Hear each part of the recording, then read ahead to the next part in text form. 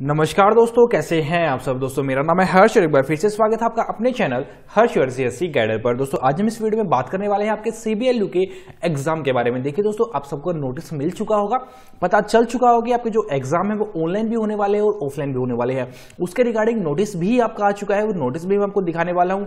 साथ ही साथ आपको बताने वाला हूँ दोस्तों की ऑनलाइन ऑफलाइन दोनों में कैसे होगा, आपको कैसे क्या करना है। ऑनलाइन अगर आप देना चाहते हो तो आपको क्या करना होगा? अगर आप ऑफलाइन एग्ज़ाम देना चाहते हो तो आपको क्या करना होगा? तो चलिए दोस्तों की वीडियो शुरू करते हैं। तो दोस्तों, सबसे पहले अगर हम बात करें यहाँ पे नोटिस की तो देखिए यहाँ आपके सामने लिखा हुआ है, चौधरी बंसीलाल यूनिवर्सिटी भिवानी का ये नोटिस है। इसमें लिखा हुआ है साफ़ साफ़ की जो आपके एग्ज़ाम है, देखिए यहाँ पे अगर आप देख सकते हैं तो as per his order the upcoming odd semester examination of UG PG diploma certificate courses will be conducted in two phases in the first phase the examination will be conducted in offline mode as per university rule and it's and in the second phase the examination will be conducted in online mode मतलब भाई आपके जो दो face में आपके exam होंगे, पहला जो फेस होगा वो ऑफलाइन मोड होगा आपका और जो सेकंड फेस होगा वो होगा आपका ऑनलाइन मोड आप जिस भी मोड में एग्ज़ाम देना चाहते हो, आप दे सकते हो बिल्कुल।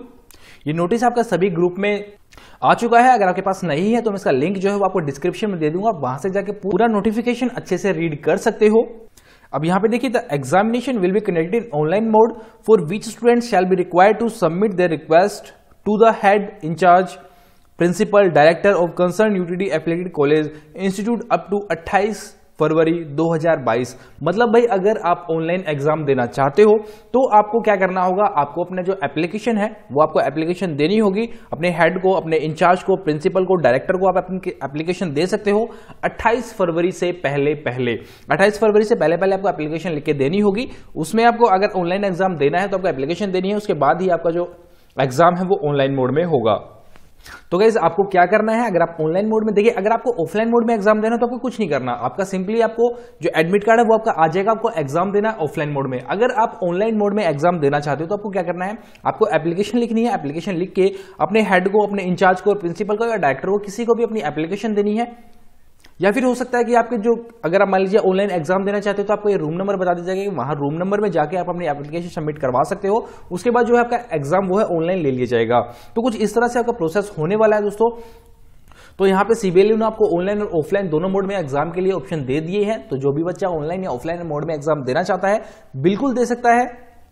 उम्मीद करता हूँ आपको वीडियो पसंद आई होगी। अगर पसंद आई हो तो इसे लाइक कीजिएगा चैनल को सब्सक्राइब कीजिएगा, क्योंकि मैं ऐसे काफ़ी सारी वीडियोस दोस्तों आपके लिए लाता रहता हूँ कॉलेज से रिलेटेड ऑनलाइन फॉर्म से रिलेटेड और आगे भी लाता रहूँगा। तो आने वाली और भी अपडेट्स के लिए बेलाइकन को प्रेस कर लीजिए, ताकि कोई भी नोटिफिकेशन आए, कोई भी अपडेट आए तो आप तक पहुँच सके। आज के लिए इतना ही दोस्तों, उम्मीद करता हूँ आपको वीडियो पसंद आई होगी। अगर पसंद आई हो तो इसे लाइक कीजिएगा चैनल को सब्सक्राइब कीजिएगा, और वीडियो को ज़्यादा से ज़्यादा शेयर कीजिएगा दोस्तों। धन्यवाद।